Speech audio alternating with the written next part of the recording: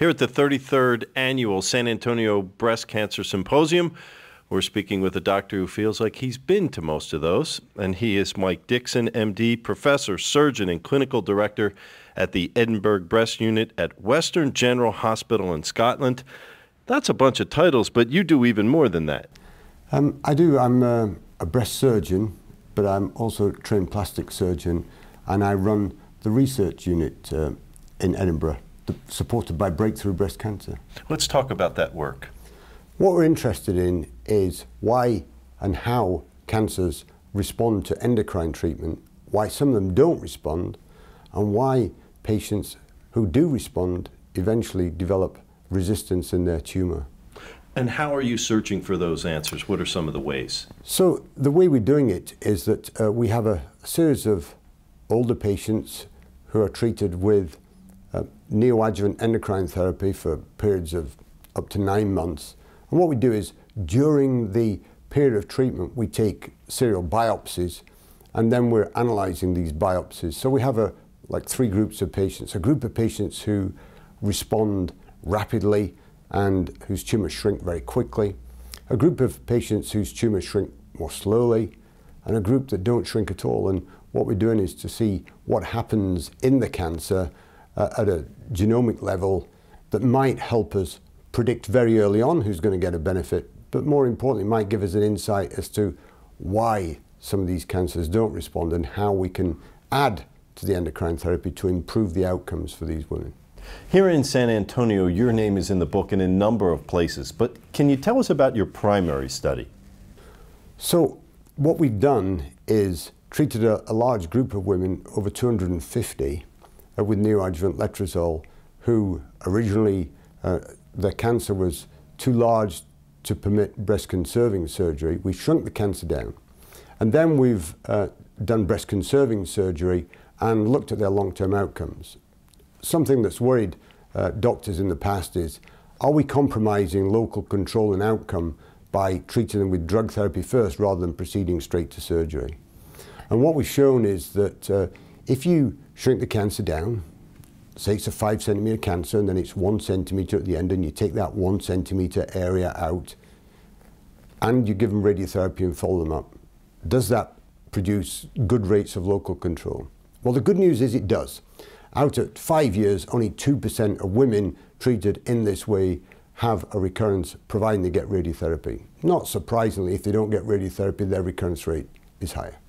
The other thing we found is that HER2 positive patients seem to recur more often than HER2 negative patients. And that fits in with the other study we've got here, which is a group of older patients who we've treated with letrozole alone. Um, and we've looked at the time uh, that their cancer responds to letrozole and how quickly some of these cancers actually grow and the patient relapses. And there's a quite significant difference whether the cancer was HER2 positive or HER2 negative. So HER2 positive cancers have a much shorter uh, control time than HER2 negative cancers. These findings, what role do you see them playing in future breast cancer treatment? So the first thing to say is that uh, what we've shown is that in terms of local control, it's safe to shrink the cancer down with letrozole and then do surgery and radiotherapy. You have good rates of local control. What we've also shown is that if you treat patients for long periods, 9, 10, 12 months, that you can save three quarters of the breasts of these older women uh, who initially would have required a mastectomy. And I think that's really important because older women don't want to lose their breasts any more than younger women. And in fact, as somebody pointed out to me at breakfast this morning, older women have had their breasts longer than young women and probably are even more attached to them.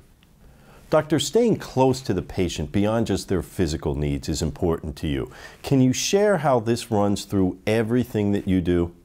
Yeah, I think it, it's really important that um, you know we don't suppose that because patients are older, um, they don't worry about treatment or worry about the cosmetic outcomes because they do. There is good evidence for that, and I think what this does is it takes account of um, the the problems patients suffer, even older patients who have mastectomies. One of the issues about older patients, their breasts are often uh, a little bit larger and a little bit more ptotic. Uh, that's slightly droopy. And if you remove one breast, they're very lopsided. So uh, we've adopted a, a, an approach, uh, two different approaches, if you like. Uh, one approach is to shrink the cancer down and save their breast, but um, the other approach is shrink their cancer down, look at their breasts and think, how can we improve the whole outcome for the patient? And what we offer a lot of these patients is the opportunity to have both breasts made smaller so that we take the cancer out and reduce the size of the cancer breast at the same time as we reduce the size of the opposite breast. And as one 85 year old pointed out to me, it took her 85 years before she looked like Marilyn Monroe. You factor in that there is more than just one decision to be made by breast cancer patients. There are multiple decisions on multiple layers. Can you explain? Yeah, so I think the big advantage for me about treating patients with letrozole up front is it gives them uh, an opportunity to look at all the options. It gives them an opportunity to discuss with their family what's best for them, because there are many decisions. You know, do you save your breast? Do you have a mastectomy? Um, do you have surgery to both breasts? Um, and so I think this gives time, and I think uh, uh, you need time to make informed choices. And I think sometimes we're so much in a rush to treat the cancer that it's only years later that we see the repercussions of what we've done because the, the patient's unhappy because the outcomes aren't quite what they expected. When you return to your research in Scotland, what avenues do you need to explore next?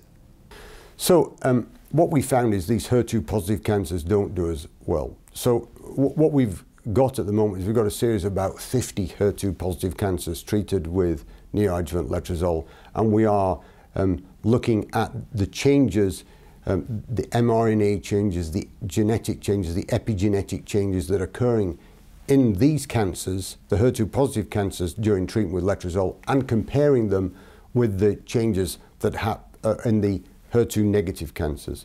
We're also exploring with the pharmaceutical companies the opportunity of combining letrozole with uh, one of the anti-HER2 agents, Herceptin lapatinib, because there clearly is a need uh, to combine endocrine therapy with some of these anti-HER2 therapies in some of these older patients to provide benefits for them. Doctor, I know this work is very personal for you. That's why you look at every patient you treat as though she were your own mother. Um, yes, I do, because uh, often the patients will ask you, you know, what would you do if I was your mum? And I always say, if you were my mum, I would give you letrozole. And I'll tell you now, I do like my mum. Thanks very much. Fascinating conversation. Best of luck in your continued work. Best of luck in finding your luggage. And best of luck in your dog letting you back in the home after being gone for so long. Thank you very much indeed. That's great. right.